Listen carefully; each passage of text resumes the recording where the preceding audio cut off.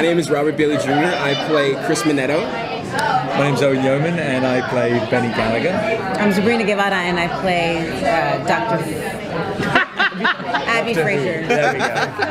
I mean, as you guys explore these characters with it, it being a new series and everything, is there anything you find you're surprised to learn about yourself as actors and actors as you start to learn more about spend more time with these characters?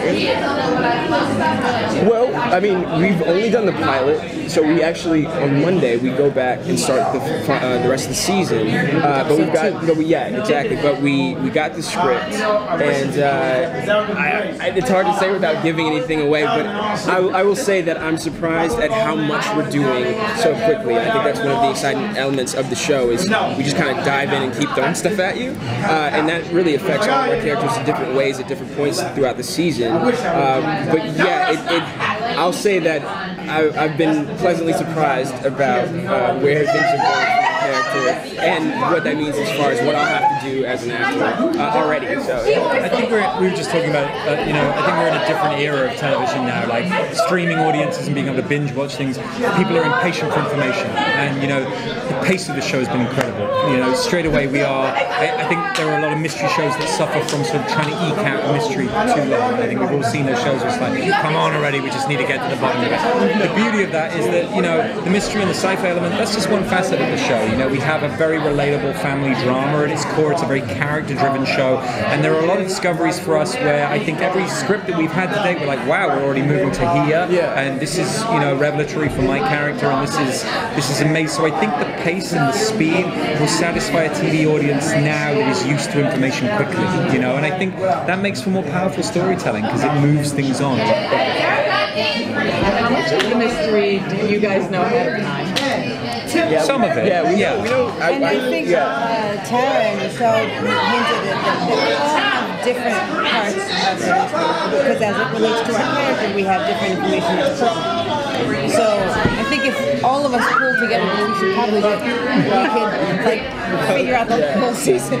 Uh, and I know, I know a bit of like very broad strokes going out a few seasons if we uh, are lucky enough to have that, and then a bit more about this first season, specifically more about my character.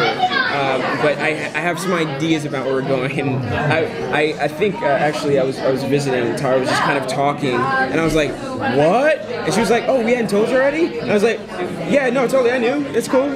Keep go- keep going." Um, and so yeah, it's, it's it's really exciting actually. That was an ugly lie, right? You yeah, yeah, yeah, totally. No, I didn't know at all. what's been what's been interesting about Tara and Michelle too is that they are very very aware of current affairs and things and the world in which we're living in and the things that are impacting our world at the moment. And it, it- and also the, they're very sensitive to who we are as individuals. So you know when we come to the pilot it's us coming to these characters. Now even by episode two it feels like oh this is a little bit of Robert in here. This is a little bit of Zabryna in here. And I feel like they're already absorbing those kind of elements of our character into those characters. And then as it kind of progresses, that sensitivity and awareness of a real relatable world that we're living in with real human beings, I think is hopefully going to keep uh, keep that interest week over week. Right. Yeah, by episode two, uh, Chris is already like a super cool guy. So you'll notice that. Just like you. Yeah, Yeah, exactly. yeah, It's yeah. We don't really know that much about your characters. Right, yeah. Can you tell us a little bit? Sure. Uh, so uh, Chris is one of the officers on the South Point Police Department that Chief Jo runs, and uh, he's known Chief Jo most of his life and, and really admires her. So it's kind of part of the reason why he became a cop. Um, and he happens to be on site when uh, she comes across Piper, the little girl that this entire mystery is around, and as a result gets dragged into this entire conspiracy that really affects everyone's relationship with each other in this small town where everyone kind of knows each other. Um, and so it changes how we relate to ourselves and, and them, and uh, we all just kind of band together for this little girl, but we don't entirely know what that means yet. And it's really going to change quite quickly for all of us. And I play Benny Gallagher, uh, who's the third member, lesser known member of Oasis and the Gallagher brothers. Um, that's not true, but uh, it just amused me. Um, but he, he's an investigative journalist, and um, I think it's interesting because he sits sort of slightly apart from the other characters. These guys have, you know, familial relationships with our central family.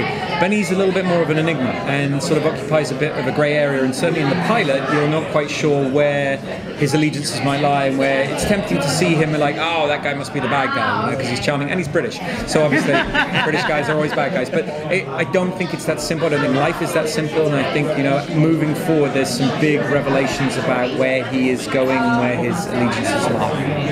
I play uh, the pediatrician that's been the pediatrician for uh, Jo's daughter since she was born, and town pediatrician, and I'm the one who investigates or does the, the health workup on the little girl when they find her. And then get pulled into the intrigue as we try to figure out what her memory lapses are, what, what her memory loss is due to.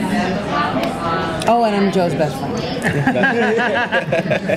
We're here at obviously the mecca of nerd culture and yeah. fandom and everything. What is something you guys nerd out about that you might be surprised? Star Wars, Star Wars, Star Done and Wars. done all the time. Star Wars the original, like four, five, six. Yes. Like the other ones, Uh, but I, I, definitely the original. I actually wasn't sure uh, what to say until earlier, and I was like, "Oh, I totally do this. That is obviously a nerdy thing."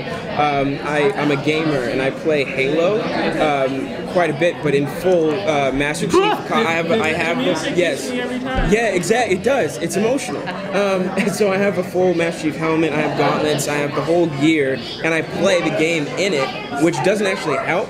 But you feel like you're right in there, you know? Figures you a little bit, Yeah. especially for the gauntlet. I think I have pictures on my Instagram. And what's strange is Robert actually turns up to table read still wearing Right, it. exactly, And exactly. you know, he really takes it beyond. And, you know? and I'm winking at Michelle and Tara, like, don't we want to include this? But they can't see because I have a visor on, obviously. Uh, but when I'm in the moment, I don't really think of that. So This was a man who earlier today just gave the quote of the day and was like, "What would you, uh, what would you like to, uh, what, what item would you like to pick up at Comic Con?" And you were like, Oh yeah, um, Jon Snow's uh, fur coat because swag. obviously. Swag, that was the Like, if answer, they- because in your survival, swag, if you yeah. if you had one item, or you, if you had anything in a survival kit for Comic Con, And if, That's it. and if you yes. don't say Terminator, I'll Well, I mean, like I, I'm slightly obligated, aren't I? Yeah, To- to- yeah, it's it's funny. Like I, I just I love this celebration of fan culture. For me, Comic Con is just a wonderful way of like getting a direct interface with fans. For me, the biggest treat of it is to be here to get that face-to-face feedback with people who just love our industry. They love movies and love what we do, and it's a really rare opportunity to sort of directly interface with the, the people who this is all for.